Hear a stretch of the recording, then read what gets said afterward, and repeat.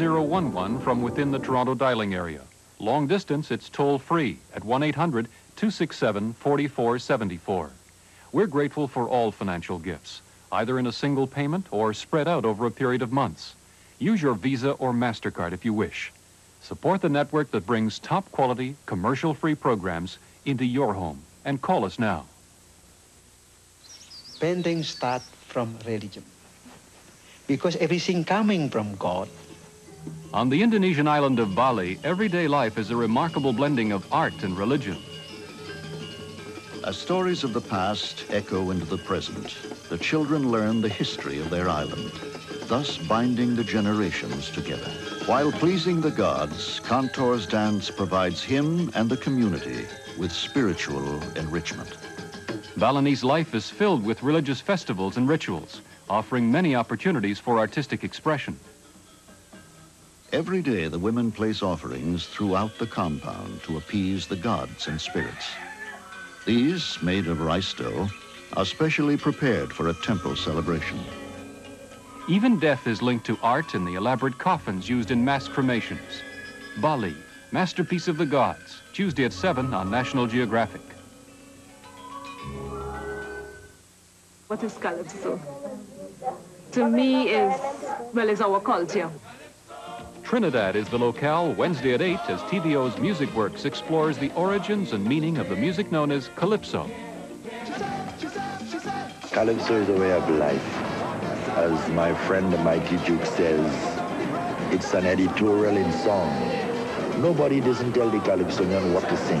He look around and he paint his own picture. The Calypsonian paint his picture with his tongue. Give us this day our daily bread because a hungry man is a hungry man. And carnival time is the perfect setting for a look at steel bands.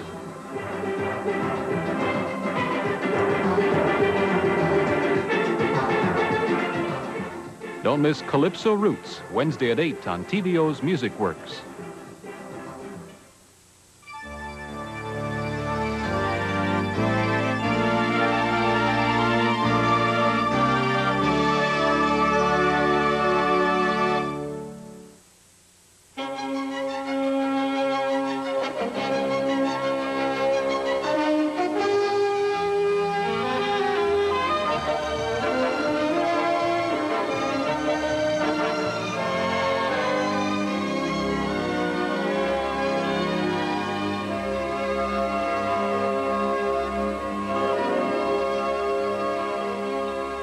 Good evening, ladies and gentlemen, and welcome again to Saturday Night at the Movies. My name is Elwy Yost. Our journey tonight is an adventure, a wild adventure, but one I suggest that'll keep your thinking minds buzzing every frame of the way because of the allegory and symbolism in the tale. Because we are presenting tonight with great pride John Huston's famous production of Herman Melville's Moby Dick. And John Huston, interviewed here nine years ago, will be a guest, as will Ray Bradbury, who wrote the screenplay. Are you ready for it? Our theme tonight is Thar She Blows, and boy, will things blow, and here we go.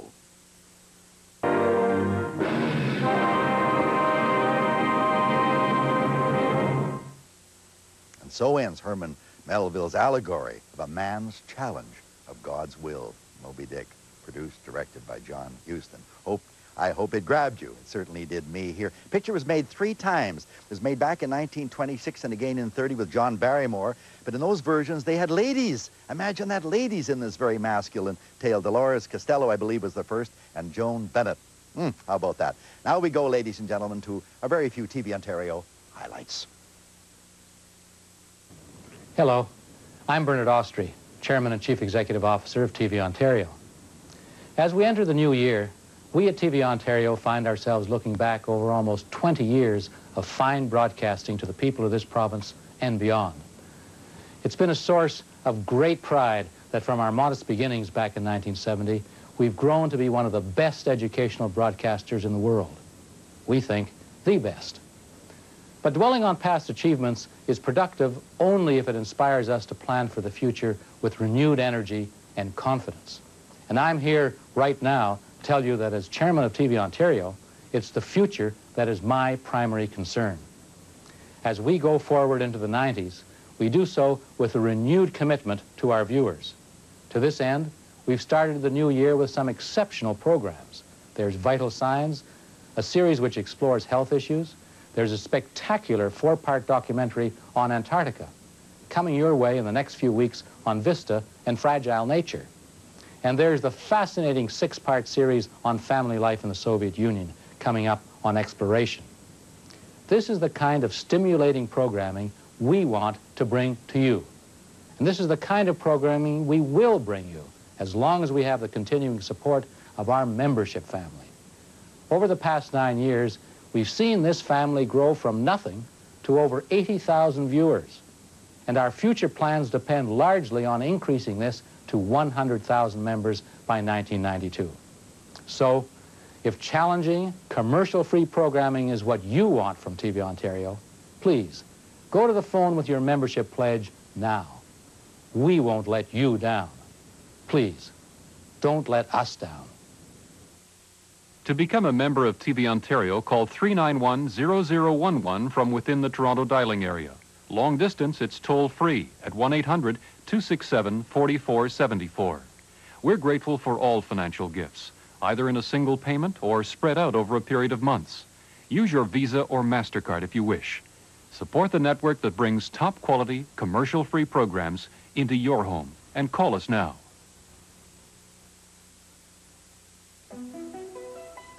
Hello, I'm Harry Brown. This week, Speaking Out declares war on waste as we look at the garbage crisis in Ontario. As we run out of space to dump garbage, what can we do to cut down on waste? Should recycling be mandatory? My guests are John Hanson of the Recycling Council of Ontario, environmental activist Gordon Perks, and Doug Fraser of Temiskaming's Environment Committee and Northwatch. Be sure to join us Thursday, February 8th at 9 p.m. when you can tune in, phone up, and speak out. Follow the experiments conducted by a group of scientists during their three-month expedition in Antarctica on Vista, Monday at 8, 7 Central. This is TV Ontario, Channel 19 in Toronto, Channel 38 in Kingston. Now, uh, an interview with the man who made Moby Dick, John Huston, Interviewed, incidentally, nine years ago here. The, now, the late, of course, John Huston. An actor, he was tremendous as an actor in, of course, Chinatown. And as a screenwriter, who could beat him when he wrote Jezebel and Sergeant York? We know him best as a director, don't we? Of The Maltese Falcon, The Treasure of Sierra Madre, The Asphalt Jungle, uh, African Queen, Moulin Rouge, the man who would be king, and here he is. Moby Dick offered the, the, the, the biggest set of problems. It was, uh, it was done during um, uh, an unholy winter. Uh, I, I, suppose the, it was called the worst winter in English history. Um, in that section of water between between um, Ireland and Fishguard, Wales, the open Atlantic. Wild. And wild.